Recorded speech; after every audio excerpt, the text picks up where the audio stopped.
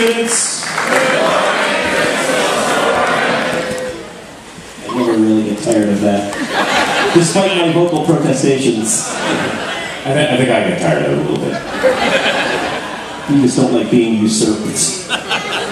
All right, the schedule. Some show is happening here right now. This is it, really. Uh, at 12 midnight tonight, Celebrity Artemis right here.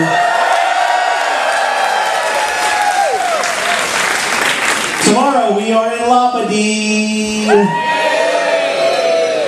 Labadee. Tomorrow at 9 p.m. in Studio B, the fourth annual Paul F. Tompkins Memorial Mustache Formal X and Fezstravaganza mashed together with live JoCo Band karaoke. Have we actually printed the sign-up sheets for live JoCo Band karaoke yet? Okay, they, they will be in the conference center by tomorrow morning. I was just gonna say that's not my job. Peter may have something to say. Hang on a second, Peter, I got you. Uh, 11 p.m. tomorrow night in this theater, Jim Boggia and the Thrilling Adventure Hour.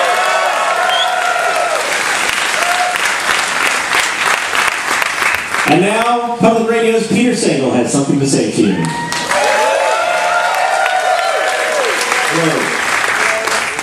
Um, first of all, uh, congratulations to those in the JoCo Cruise Running and Fitness Club, now called, somewhat against my will, Wait, Wait, Don't Lap Me.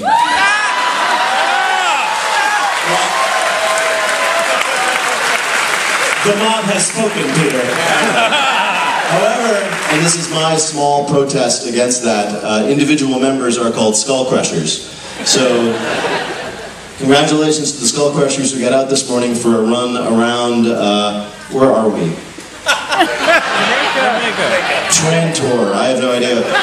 Um, we got to manage to get out and run, despite what seemed to be the collected efforts of everyone in Jamaica to keep us from having a good time. We did it. We got out there, we went for a run. Tomorrow morning, um, we are meeting uh, for that swim we couldn't get in today because you may not know this, there are no beaches in Jamaica. That was the determination.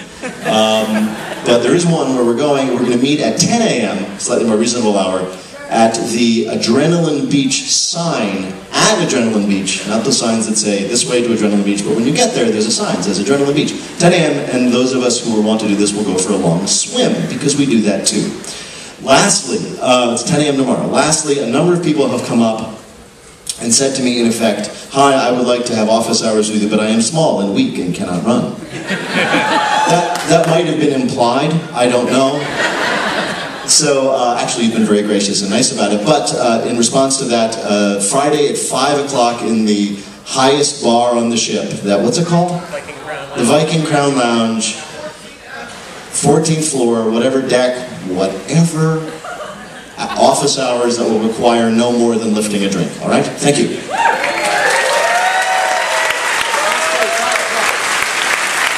Thank you. Speaking of office hours, also Grant Imahara will be holding a Q&A slash drink up in the Dog and Badger this evening at 8 p.m.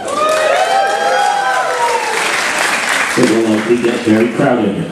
A couple more notes. Uh, please no sneaking in through the upstairs doors, especially during sound check. Uh, the only entrance we would like to keep it here on uh, deck three here, simply for crowd control reasons, and so that we don't have uh, unauthorized people coming through those doors. Thank you all. Uh, there are a number of you, I understand, waiting for word about your cabanas. Uh, it is our understanding those tickets should be distributed by this evening, much like on the first day. Uh, we are confirming that that is the case. If you have not received your cabana information by the time you get back from dinner, please call guest services and they will take care of you. Uh, we have a question.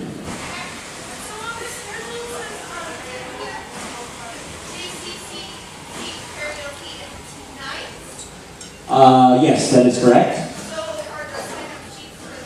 Oh, that's just sign up when you get there. Yes, karaoke. Uh, all the karaoke nights remaining in the On Air Club, you will sign up uh, there in, in the place that is called the On Air Club.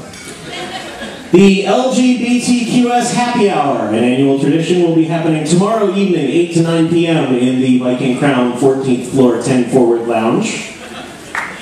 And those are all the morning announcements. Ladies and gentlemen, Clark. Thanks.